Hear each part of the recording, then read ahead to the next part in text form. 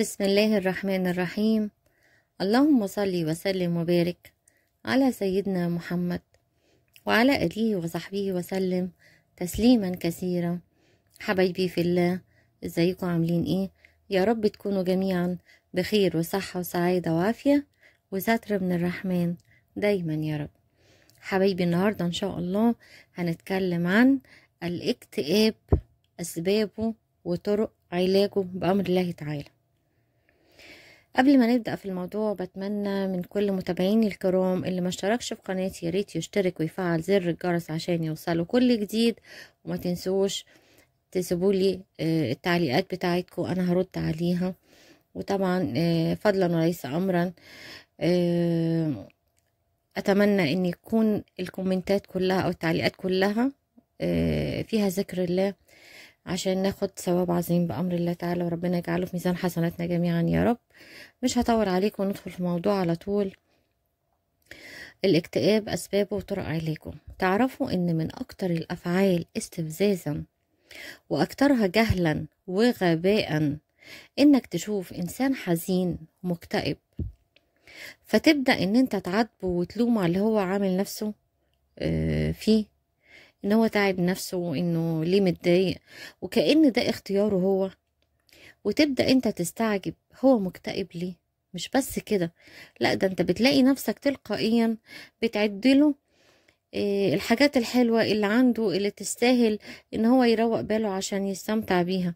طب خلينا الأول نتفق إن الاكتئاب حاجة والأريافة أو اللي هو متضايق شوية دي حاجة تانية خالص. في جملة مأثورة وشهيرة بتقول when you are sad everything matters. When you are depressed nothing does. والفكرة إن المكتئب غالبا مش زي السينما ما صورت لنا. الصورة النمطية بتاعة المكتئب اللي هو ماشي منحني كده وقاعد لوحده طول الوقت وبيحاول يربط حزام في السقف وعشان يشنق نفسه الله أكبر زيه زي الله أكبر المدمن اللي تحت عينيه سواد وبيمسح مناخيره في كمه وبيعمل حاجات غريبة. كل ده كلام؟ هجايز كل ده مش صح. المكتئب يا جماعة ممكن يكون أي حد بيشوفه وبيتكلم معاه بيحس إن هو شخص عادي لكن مكتئب. يعني ممكن يكون إنسان مكتئب وبيتكلم. إنسان مكتئب وبيخرج عادي جدا. إنسان مكتئب وبيروح شغله عادي جدا. إنسان مكتئب وبيجيب التارجت بتاعه. إنسان مكتئب وبيجامل وبيروح مناسبات وبيحضر أعياد ميلاد وبيروح أفراح. ممكن يكون المكتئب ده أب. ممكن يكون المكتئب ده أم ممكن يكون ابنة أو أخ أو زوجة. إذا فالمكتئب مش مشلول ولا قاعد في جزيرة لوحده.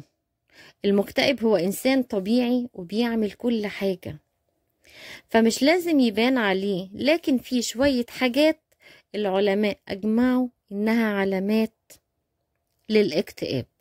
وهي إيه بقى؟ هنقولها مع بعض والله طبعا أعلى وأعلم. المكتئب هتلاقيه شايف كل حاجة في حياته فيها مشكلة أو مش ماشية مظبوط زي ما هو عايز. المكتئب دايما مش مبسوط ولا متفائل بأي حاجة ممكن تحصل له.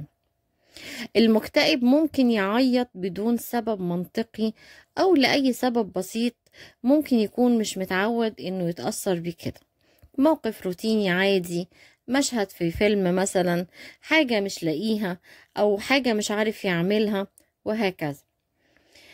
المكتئب بيكون بيلاقي أرق شديد في النوم بينام بصعوبة وبيصحى الصبح بمعجزة بيبقى عايز يعني ما بيعرفش ينام ولما بينام بيبقى مش عايز يقوم. باختصار. المكتئب بيلاقي صعوبة في اتخاذ القرارات البسيطة جدا. زي مثلا هلبس إيه النهاردة هاكل إيه النهاردة هعمل إيه النهاردة. حاجة زي كده. طيب المكتئب ممكن يبدأ يشك في حبه للطرف الآخر سواء كان حبيب أو خطيب أو زوج أو حتى يشكك في حب الطرف التاني ليه. المكتئب بيحس إن في حيطة إزاز بينه وبين العالم وكأنه مسجون. المكتئب بيعاني يعاني من اضطرابات شديدة في الهضم. الإنسان المكتئب بيستسهل الحلول اللي بتتضمن الانسحاب يعني بيحب يهرب. آه، بيستسهل الحل اللي هو زي الاستغناء يستغني عن حد بسرعة. بيستسهل إنه يبعد عن حد بسرعة. وغيرها من الحلول السلبية. المكتئب مش عاوز يواجه خالص ومش قادر على إنه يحدد أو يعافر أو يواجه. فالاكتئاب يا جماعة مش اختيار وبالتالي الشفاء منه مش بقوة الإرادة ولا بكبسولتين هيتاخدوا بشوية مية. الاكتئاب ده مرض نفسي زيه زي أي مرض عضوي. كلنا حرفيا معرضين للاكتئاب.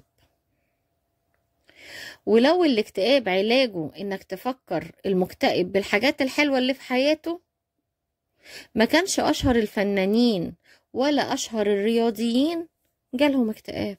صح ولا لأ؟ والاكتئاب ده ممكن يوصل والعياذ بالله للإدمان. الاكتئاب ممكن يوصل والعياذ بالله للانتحار.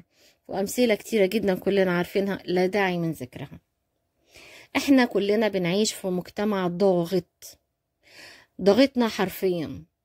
مطلوب مننا إن إحنا نتكلم ونضحك طول الوقت.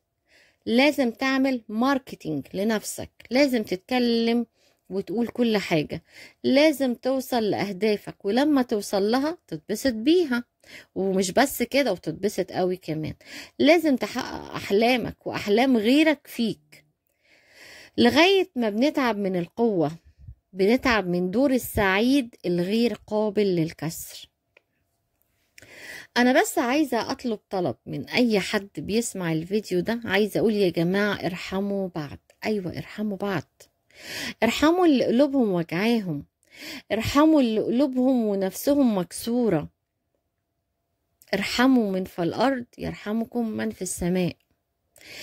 كلنا أو معظمنا محتاجين نفهم كتالوج البشر كويس. صدقوني مش هنتعب كده ولو تعبنا عارفين العلاج. طب العلاج إيه؟ العلاج إن إحنا نعرفهم بنفسهم كويس ونخليهم يطبطبوا على قلوبهم الحزينة. نقف جنبهم نساعدهم ندعمهم. نحسسهم بثقتهم بنفسهم.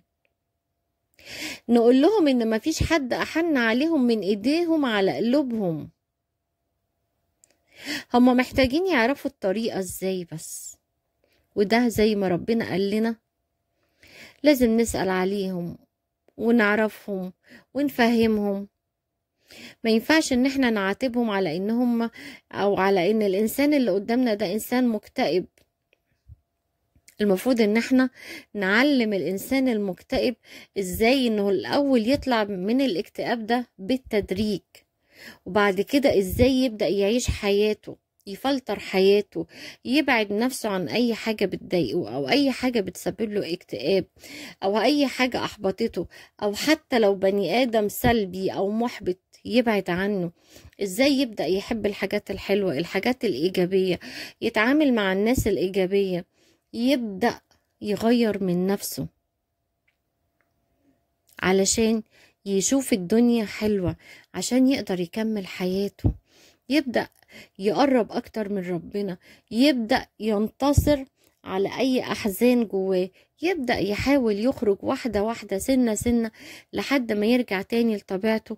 إنسان طبيعي إنسان مش مكتئب إنسان محب للحياة إنسان متفائل إنسان إيجابي إن شاء الله بقوته بنفسه بإرادته بعزيمته بحبه للحياة بحب الناس الكويسة الطيبة اللي بتحبه من قلبها وجودها جنبه ودعمها النفسي ليه.